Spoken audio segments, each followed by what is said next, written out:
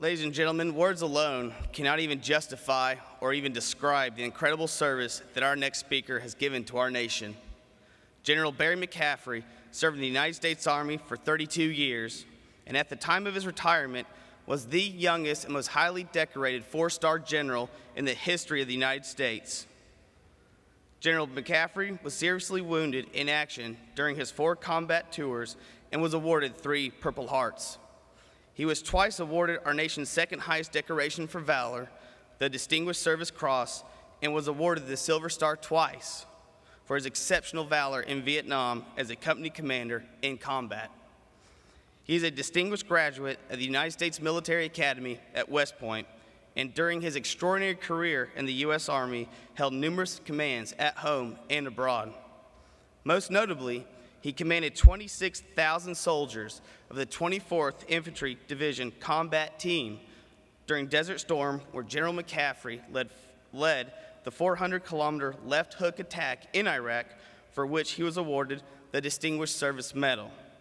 After Desert Storm, he served on the Joint Chiefs of Staff as a special assistant to General Colin Powell. After leaving the ranks of the United States Army, laying down his rifle, and, and hanging up the uniform, his service to our nation was not over. General Barry McCaffrey then served in President Clinton's cabinet as director of the White House Office of National Drug Control Policy from 1996 to 2001.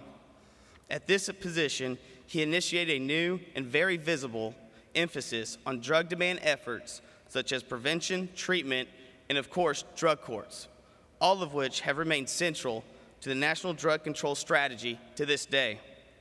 Make no mistake, although General McCaffrey is not commanding a platoon, a company, a battalion, or an entire Army division, he is now fighting for our veterans with the same tenacity and aggressiveness as he did as a combat leader. His support of Veterans Treatment Courts is an example of his unwavering commitment of ensuring that no veteran is left behind. General McCaffrey is a tireless public servant whose mark on our nation will be felt by Americans for generations to come. Ladies and gentlemen, please stand and welcome an American hero, General Barry McCaffrey.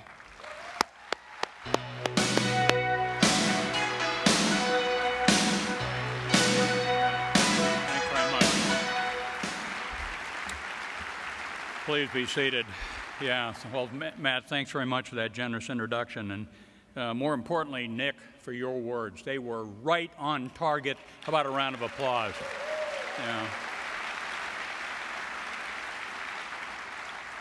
You know, following uh, two distinguished Marine Corps veterans, both combat veterans from the latest war, I'm always reminded uh, I wanted to go, Nick, in the Marine Corps. My boxing coach at West Point was an all Marine Corps boxer, uh, a couple years ahead of me in the academy. Later on, killed in action in Vietnam, Medal of Honor recipient, unbelievable guy.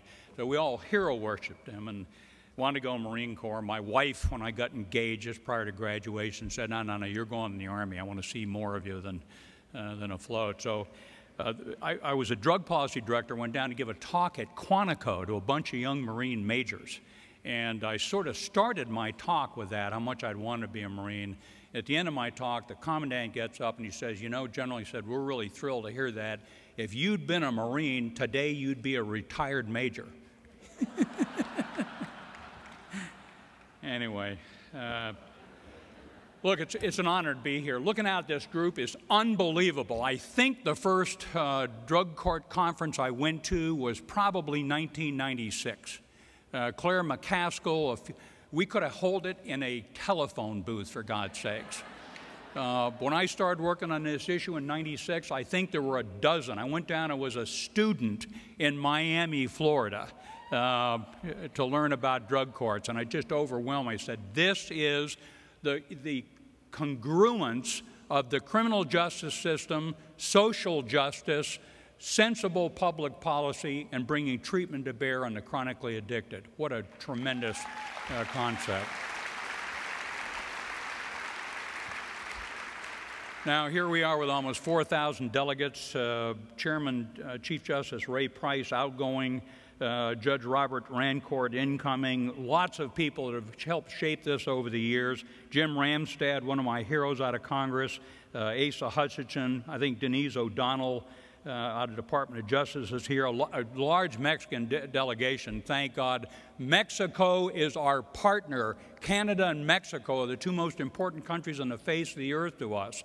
They're in a tremendous struggle for justice and survival uh, with some high integrity, courageous leadership. A round of applause for our Mexican delegation.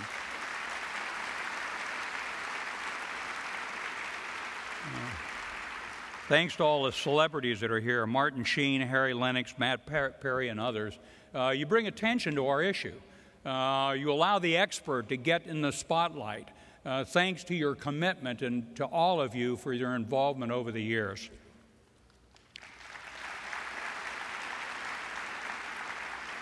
Um, a couple of the speakers are real heroes of mine. Laurie Robinson, now over at Department of Justice again, uh, and Tim Condon, uh, and CSAT Director uh, Westley Clark, Dr. Westley Clark.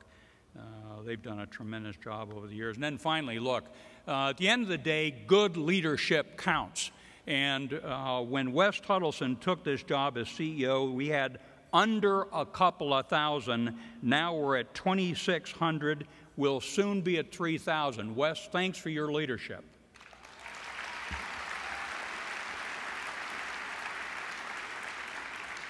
Um, let me make some uh, sort of brief remarks about the uh, Veterans Drug Courts. And by the way, let's put it in context. There's 300 million of us, 307 million of us Americans.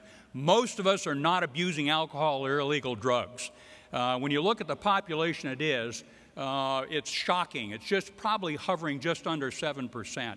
It turns out that that 7%, poly drug abuse, alcohol almost always involved, causes uh, 24 million of us to require treatment for some kind of addiction. And if you want to understand who we are and where we are, just go ask a police officer, a judge, a social worker, a hospital emergency room doc or nurse. They know all about us. We're in there all the time. You go into a prison system in the country, 2.1 million of us behind bars. And invariably, you know, pick a study you believe, it'll turn out probably 80% of us behind bars are there. That's not the charge sheet. The charge sheet said breaking and entering, it said male street prostitution. But when you look at our background, the substance abuse is what drove the whole thing. And, you know, by the way, we finally hit, we ended up with no friends. The only one left is normally your mother. She's the last one to give up on you. 2.1 million people. So, our job, in the largest sense, uh, number one is drug education and prevention. If you're not talking to sixth graders through 12th graders, there's a mistake here. And that means pediatricians and moms and dads and high school football coaches and, uh, and others. But then finally, we've got to get organized on treatment. You know, we, I've just been in big conferences in San Antonio, and I just came from uh, San Diego trying to help organize that treatment community. There's a gigantic gap of the availability of science based effective treatment. And we know it works. We know that basically we can do better with chronic addiction than we can with currently available therapies uh, for cancer. Now, let me turn to another problem we're facing. You know, my son just deployed in his third combat tour uh, last Friday. Um, we're looking at a, uh, you know, at the height of the Iraq uh, conflict, we were running probably 180,000 troops in country. Right now, we got 100,000 in combat. We haven't done anything like this since World War II. I was talking to a group uh, at the Army War College yesterday, primarily reserve uh, National Guard officers from all over the country. That's the reserve component and asked them to raise their hand if they had a combat tour. Every hand in the room went up. Uh, there were a significant number of them that were on their fourth combat tour. And by the way, there's actually a fight going on out there. We've had 51,000 killed and wounded. So if you were in a Marine Infantry Battalion fighting in the second uh, takedown of Fallujah, uh, we took 1,100 casualties in four days. There's a fight going on out there. And by the way, some of it is intensely personal. You know, gunfights are sort of exciting and dangerous, and, but our troops nowadays in Iraq, at the height of that war, we were running 3,000 IEDs, improvised explosive devices, per month. So a lot of these uh, combat troops, military police, logistics, you name it, on the, when they're out in a road network or running patrols, they are constantly subject to being shredded like meat on any given second. Uh, never mind the uh, rather constant. You know, if you're my son's brigade in his last combat tour, a parachute infantry brigade out in eastern Afghanistan, essentially a lot of these platoon-sized units uh, are under daily combat action. There's a war going on. We shouldn't forget it. And by the way, when we look at these, uh, you know, look at the larger group of veterans, uh, 23 million of us, almost 8 million out of the Vietnam era. Uh, and by the way, they've got families that love them and care for them and are concerned about them. You end up with 20% of the country is either directly involved with a veteran uh, or part of their support structure. It's a huge challenge. I'd also remind all of us, I love to say this when I'm on the college lecture circuit, when you, when you get the Gallup polls in, in the country for the last 10 years at least, the latest one I, ju I just put up on my briefing slides, the most respected institution in this country is the U.S. Armed Forces, bar none. And I'll just, I'll just tell you, a lot of that, that has nothing to do with how cute the admirals and generals are. It has to do with our boys and girls when they volunteer to serve in the armed forces. Army, Navy, Air Force, Marines, Coast Guard, uh, when they join up and, and, and agree to fight for us, uh, they write their moms and dads and say, This is an institution of courage and integrity, and they care about me, and they're trying to protect the country. So there are, uh, and by the way, just on sheer quality, we're recruiting the males out of the top 25% of this country. That's who's eligible in the list, and the women are out of the top 10% of this country. So when we look at the kids we got in uniform that come in at age 18 through uh, 25, let's say, uh, they're a select lot. Uh, they have a lot going for them. Then we subject them to some ferocious levels of combat. Um, you know, I used to tell people um, we were probably the most drug free institution in American society, and that's still mostly the case. We're mostly testing drug positive at around 2%, that includes the reserve components. Uh, we're mostly uh, controlling alcohol use. Uh, but in almost every case, when you look internally, suicide rates are going up, uh, drug abuse, alcohol abuse is going up, they're under strain. The force is under strain. Uh, and primarily driven by uh, combat action. Uh, when we get these um, young men and women back from com combat, lots of them are encountering problems. Uh, one of the numbers that Secretary Rick Shinseki, uh, by the way, thank God for the Veterans Administration, uh, without which we'd be in trouble. Um, but we've got, we've got probably a third of the adult homeless population are veterans, 107,000 living on the streets incredible situation. Uh, Rick Shinseki's personally committed himself to having all of them off the streets before he leaves office. And we need to stand behind him on that pledge. Uh, we've got uh, probably more than 1.8 million veterans have a substance abuse disorder clinically diagnosed. Uh, maybe one in five has some symptom of mental disorder or cognitive impairment, a lot of it driven again by combat. Uh, what's combat like? It's, it's incredible.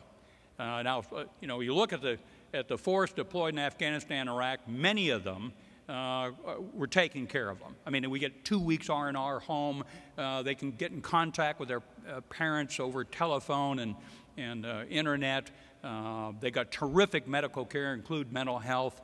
we're really taking care of these kids. Their food and their nutrition. When you see them on TV, they don't look sick. They look strong and healthy uh, but they're subject to enormous stress. Heat, cold, particularly the combat units, mines, snipers, complex attacks. They see their buddies uh, pulled apart. We got 80 veterans uh, treatment courts. It's working like magic. It's unbelievable. You put these people back together and tell them depend on each other and get the older veterans to reach out to them and get the compassion and the expertise of the judge uh, with American justice as it was supposed to work, where the prosecutor and the defense attorney both seek justice and, more importantly, from a policy outcome, want to get these veterans back to their families and back to work. All of you in the audience,